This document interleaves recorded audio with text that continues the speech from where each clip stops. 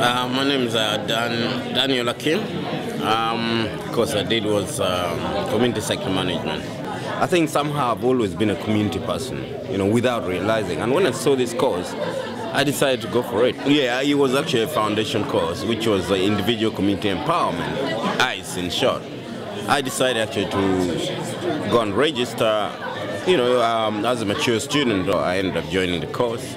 Eventually, after two years, I went on to uh, join community sector management, and uh, now I have a foundation degree and a, a honors degree. I graduated uh, last year, and um, it's actually empowered me, given me the um, confidence actually to set up an organization for the unemployed. Uh, basically, you know, the unemployed actually have nobody, you know, to speak on their behalf. So um, I thought, you know, like any trade unions, any organization, lawyers, engineers, doctors, all have, you know, bodies that actually represent them. So basically, um, I, I wanted to be a nationwide organization to cover all the job centers within the country.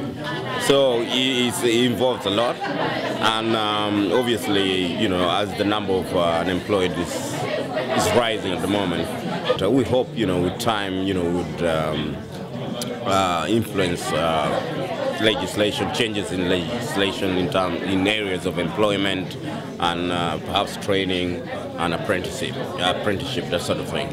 Oh, it was great. I mean, like I said, I was a mature student, never been to university before, and um, you know, I wanted something. I live, I live actually, I live actually very close to Met, you know, university. And all these years I've actually been passing, you know, without even noticing this is a seat of learning.